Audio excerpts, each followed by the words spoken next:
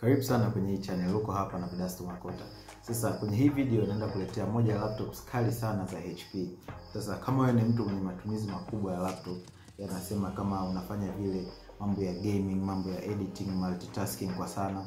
Sasa hii laptop nakuletea leo ni laptop kali sana za HP ambazo zinaweza kutoka na zina soko kubwa mpaka siku hii ya leo.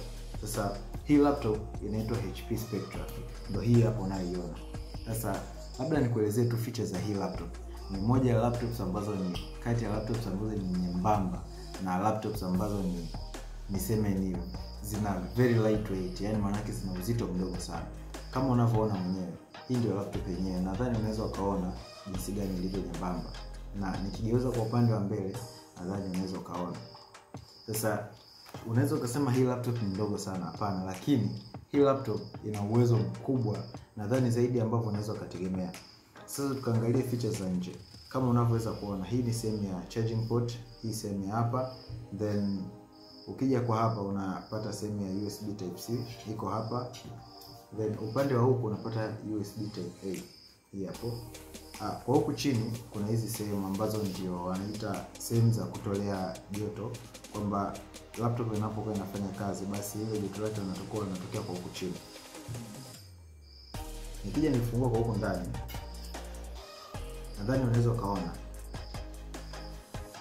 Hii laptop ina 14 14 inches of display, yanakwambia screen yake size yake ni 14 inches, na kwa hapa nadhani unaweza ukaziona speakers za hii laptop, na hii hapa ndio trackpad yake ambayo ni trackpad kubwa kabisa, na keyboard yake ni kati ya keyboard ambazo nimetokea kuzipenda sana, basi ni hii hapa ya HP Spectra.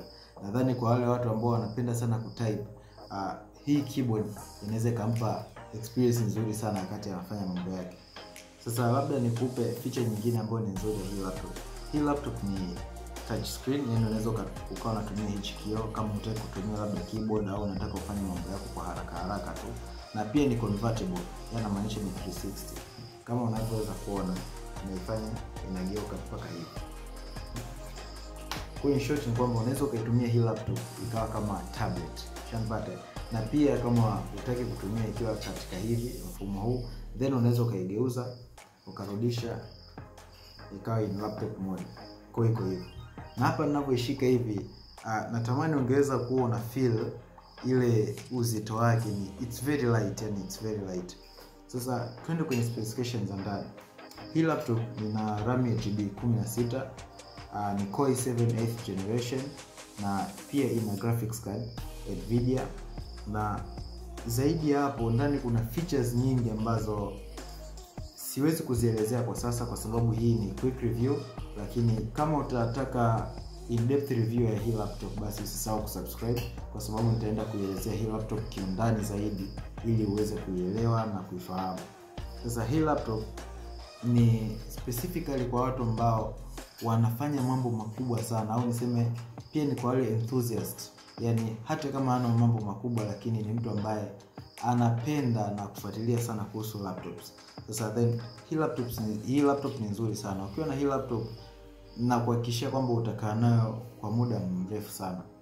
Sasa the main thing ni kwamba mtu anaweza kauliza price yake, price yake kuanzia dola elfu moja mia tano mpaka dola elfu mbili na kuendelea. Uh, dola elfu moja mia tano ni almost milioni tatu point kitu na kuendelea. Yeah. So hiyo ndio quick review ya hii laptop. Sasa kama utataka in depth review ya hii laptop, basi usisahau kubonyeza hii subscribe button hapo chini kama unavyoiona, na pia ubonyeze notification bell ili uwe wa kwanza kuwa notified pale video mpya inapotoka. Jina langu ni Vedasto Makota, then nadhani hii ndio mwisho wa video. Peace out.